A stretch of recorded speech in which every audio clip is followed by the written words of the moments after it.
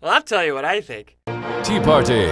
America thanks you for pushing our government to the edge of economic collapse. The Tea Party in Congress is so crazy that every time one of these new representatives or senators think they've made a valid point, I swear I hear this.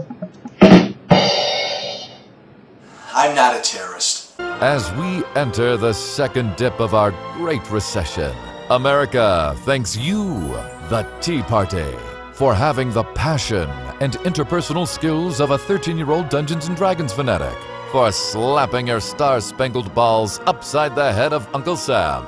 Kentucky's Rand Paul on the BP oil spill. Accidents happen. Former Delaware Senate candidate Christine O'Donnell, you can't masturbate without lust. Arizona Representative Trent Franks called President Obama an enemy of humanity. He also said recently that the Bush tax cuts brought in an additional $100 billion a year. Mr. Franks, you might want to recheck those figures.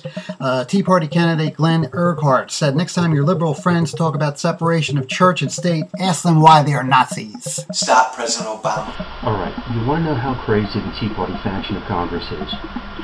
Let me put it this way. If you read the transmissions from Planet T Hive and replace amend the Constitution with bomb the moon, they make just as much sense. President Obama, we're not terrorists. Compromise is just dirty Euro slang for surrender. I'm not a terrorist. How crazy is the Tea Party Congress? Crazy enough to risk financial default. Crazy enough to think that it might be beneficial. Crazy enough to shut down the FAA to kick the unions. Crazy enough to tear down our system of governance to force their narrow view on the whole of America. No holds barred, no prisoners taken, no hostages released. That isn't governance, it's crazy.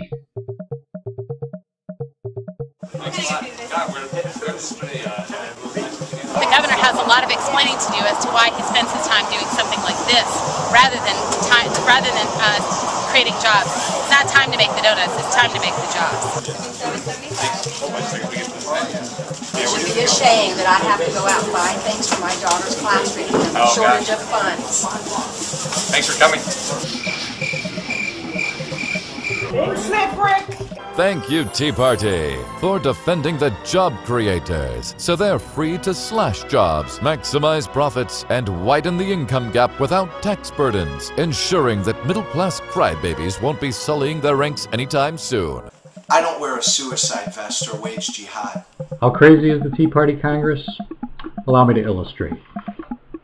This was their inspiration, and this is their leader. And these are their followers, and this is their vision of your government. Scared yet? If I'm a hobbit, then you're a troll. Thank you, Tea Party, for helping Mitch McConnell stay true to his highest stated purpose, undermining the President of the United States. That's what true patriots do, along with wearing cool hats and comic book sideburns. Stop President Obama. About the Tea Party, it's really simple. They're thugs. They held us hostage for this whole past month. They lie, they distort, they hate monger, and they fear monger. I just want someone to say to them, enough. All I have to say is, tea belongs here. Because of you, steep patriots, we can shrink government down to the size of your worldview. As a freshman, I may not be wise. Never doubt that a small group of reactionary, xenophobic, corporately manipulated citizens can change the world. The Tea Party. Teabagging America because no one is stopping them. Thank you, thank you, thank you, Tea Party. That's pretty much it.